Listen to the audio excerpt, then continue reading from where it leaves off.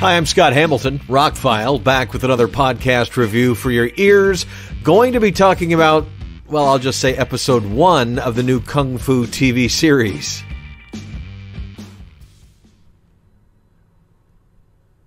Now, let me start by saying if you are a young adult, primarily female, and like a lot of shows on the CW, this show will probably be fine for you. You can tune out of this, go check it out. You will probably enjoy it. Heavy doses of melodrama, some good action, the fight scenes are well choreographed. There you go. You know, you don't need to listen to any more. You would probably enjoy the TV series. Women kicking butt. I, I love that. I was made that comment to a friend of mine recently. I just, you know, from uh, from movies like Alita Battle Angel or Atomic Blonde. I, I, just, I really do enjoy the genre, and it's not really a genre on its own, but women kicking ass. I think it's great. Um, I love Deadpool. I love John Wick. You know, I, I like a good action movie um, watching the recent Hitman's Wife's Bodyguard. It was fun to see Salma Hayek kicking some ass in those two movies. So nothing against the whole let's reimagine a series, do some female leads and that kind of thing. I th- that's not a bad idea if you can pull it off. I grew up with kung fu. My dad liked it. Um, there is a behind the scenes story that Bruce Lee was actually supposed to star in it and it didn't happen because they didn't want an Asian lead or whatever and they got David Carradine. But this was still a show that I grew up with as a small kid who thought it was kind of cool. And if you don't know the premise, the idea of Kung Fu was that a Shaolin monk came to America in the times of the Old West to search for his long lost brother and he dealt with you know racism and stereotypes and all this kind of stuff and and basically kicked a whole bunch of people's butts with his bare feet and you know it's a show that's but I like the flashbacks to when he was learning when he was a child and snatched the pebble from my hand and all that kind of stuff. That stuff was great.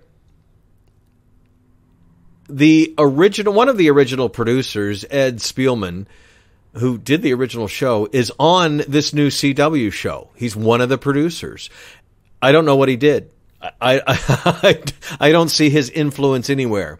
What happens was I was watching uh, HBO Max to watch uh, Reminiscence, and afterwards I had a little time, and, and it recommended you might like this. I guess because I finished the Warrior TV series.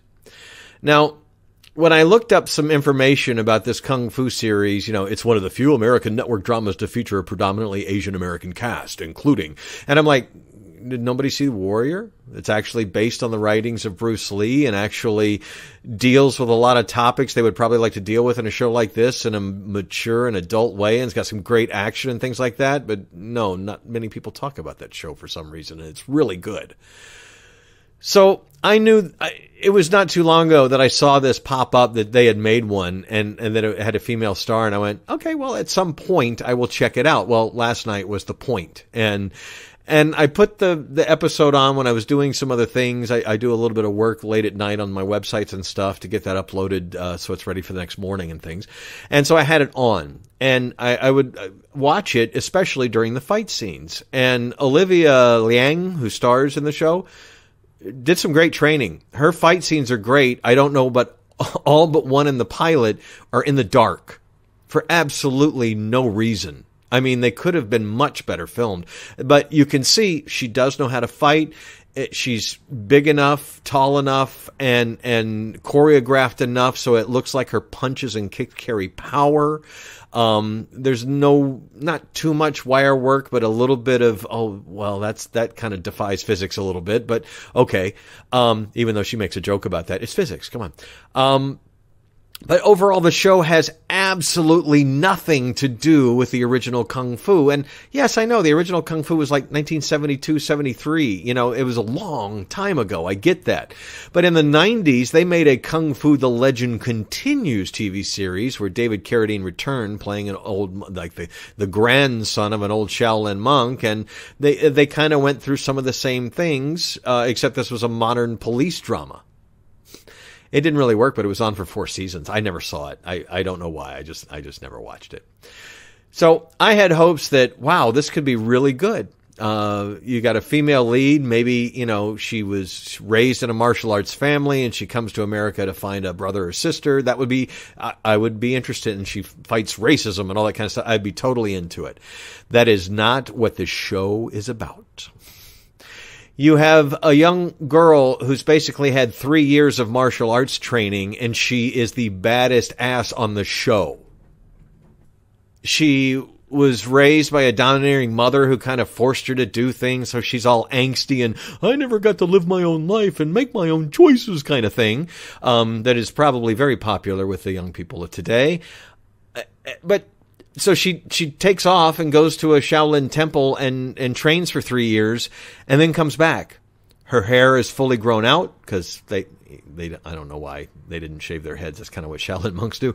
Um, but she comes back and has a few fight scenes and then deals with an ex-boyfriend, deals with a family situation, deals with another family situation, deals with somebody else. It's like, wow, this is a lot of melodrama to get to the rest of the action. And there were quite a few action scenes in the pilot episode. I mean, really.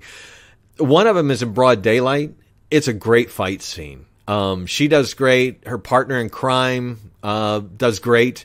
Um, it's well choreographed. It looks like they're actually fighting. Pretty impressed. You know, that was great. The other fight scenes are in the dark and not well lit at all. You can barely see what's going on. And I don't know, maybe it was the first episode and they didn't want to showcase her yet, maybe keep some of it in the shadows so we'd be more impressed when we saw her later. But for me, it was like, that's really dark. And I'm watching on a pretty decent TV. Um, there was just no reason for it. And the fact that the entire show is skewed towards this young adult, I'm trying to rectify my life with my old friends, family, boyfriends, whatever that that part just bored me to tears. And like I said at the beginning, if you're a young adult who who loves these CW series that that really get into the drama of these situations, you might really like the show. The action was good. The the acting for what I saw and it appeared to be pretty darn good. Uh, it, what it is, but I didn't care about why after three years would you try and kind of reconcile with your ex-boyfriend? Why even bother? It's been three years. You're now this martial arts superstar kind of thing, and she's kind of downplaying it when her friends see her fight and everything. Um, like I said, the the woman who stars in it is great. Everybody else that I saw in the in the debut episode were great.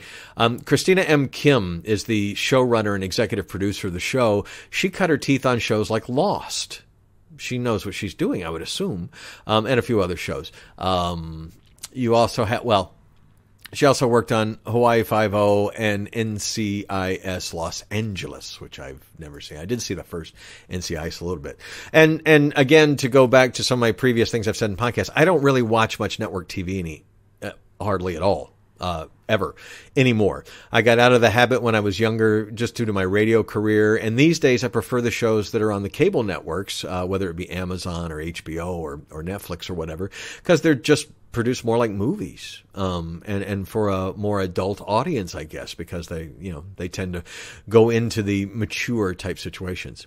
Uh, Ed Spielman, who I mentioned before, was a creator of the original series, is listed as um, you know a producer on the show.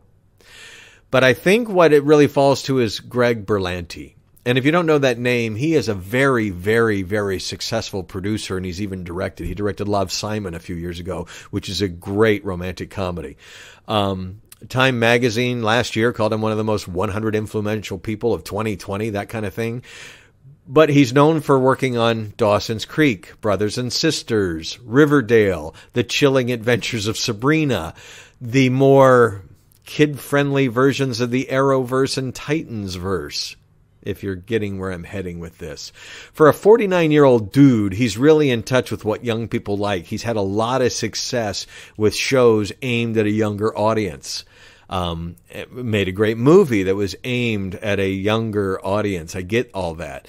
Um, it's amazing somebody of his age is that in touch with what young people love. But the stuff he did in the Arrowverse is what made me leave the Arrowverse. I haven't even watched any of the Titan shows. I didn't get past the first episode of Chilling Adventures of Sabrina. Um, never was a Dawson's Creek fan. It's just not my kind of television. Network TV is not really my kind of television. So again, preface everything I've said with, well, I like those shows. Then you might like Kung Fu. but they made the show in name as as most Hollywood properties want to do these days to have some familiarity. And I don't understand 50 years later why they're trying to tie into a TV series from the early 70s and have some familiarity. Um, they could have just called it something else and made her her own thing and it would have been fine. I wouldn't I, I, wouldn't have too many negative things to say about it, just that it's not my cup of tea. But when you use the name of something that's famous, that's in pop culture, no matter how old it is, you are going to have some people go, Why? You know, especially since this has no connective tissue whatsoever to Kwai Chang Caine or anything that came in those previous series. It's just called kung fu for whatever reason. And to have a young female who's only trained for three years in kung fu be a badass against some of these bigger and more well known, there's there's a lot of those famous stunt actors you've seen in every martial arts movie in this, and she handily kicks their butts. As someone who took martial arts for over three years, I am in no way anywhere near, you know, even if I was a, a prodigy of martial arts, would I be able to keep up with some of these famous martial artists who have, you know, 25, 30 years of experience. And I, don't get me wrong. I understand the young female empowerment uh, fantasy, whatever that's going on here. I, I do get it, but it's not believable. Um, there's most of the good reviews on Google that I looked up come from young females and a few Asians who say it's really not bad. It plays out kind of like a fortune cookie, kind of like um, a, a, Cliff Notes version of, of some, but they don't hate it from that aspect that it doesn't, it's not, uh, uh, bowing down to Asian culture and dumbing it down for us American audiences. Great, you know, but again, you called the show Kung Fu. First of all, you don't really have a kung fu master. You have a girl who's been doing it for three years. Um, and it doesn't have anything to do with the original show, anything at all. So I wonder, what was. I don't have an answer. it's Hollywood. This is set up for exactly what people complain about. You know, that oh they reimagined this old show with a female lead and it's just nothing like it. That this is the common complaint. Why does Hollywood keep doing this? If you have an original idea, which this is mostly an original idea, call it something else. You know, there was absolutely no need to tie this into it. Critical response, I'm not the only one. It's eh, the ratings went down by episode by episode, and I think it's right around 48% or something on IMDb. I don't know what the Rotten Tomatoes score is, but I can't watch it past the first episode. It's just not anything that keeps my attention. There's a mystical element too. Anything in the original show was kind of hinted at, although in the late run of the show it got a little bit more mystical, but it's really unnecessary, but I guess they're trying to compete with Marvel stuff and, and superhero stuff that's on these networks, perhaps. I, I don't really know what the thought process was behind we're going to make a new kung fu show, but this should not have been called kung fu. And when you look it up on Wikipedia, it says preceded by Kung Fu the movie, Kung Fu the Next Generation, Kung Fu the Legend Continues, and Kung Fu the original 1972 TV series for me, it doesn't have anything to do with kung fu. I, I I like the lead. I'm glad she looks good in the fight scenes, like she's really kicking ass and all that. But that being said, if you're looking for a kung fu show, go watch Warrior. It's it's it's just much more of what you expect this to be. This is very much a young adult drama with some martial arts thrown in. Martial arts are really good, actually. I got to say that they they pulled off the choreography well. She looks good uh, doing what she does and defeating these guys that she would have no chance in real life defeating. Um, they make it realistic on that when they get into some of the Chinese mythology and stuff, and they go to this hand drawn artwork that looks like um, Chinese art, um, it's great. I mean, uh, they they've really done a few good things with it, but it took me so many different melodrama ticks in the debut episode that I'm like, I don't care what happens with any of these other characters. I want to see her get the bad guy and the the the person who killed her priest and that kind of thing, her uh, Sifu. So anyway, don't want to just bash it to bash it. It just it's not what. Just don't call it kung fu, and I would have been fine with it. But you called it kung fu. I have to compare it to the kung fu that came before, and that it's not. But as a young adult drama on CW and HBO Max, if you're into those kind of things, you will probably like it because it's a well done one of those. I'm Scott Hamilton. I'm Rockfile. TheRockfile.com is my website. Please like, share, subscribe, and thank you so much for listening.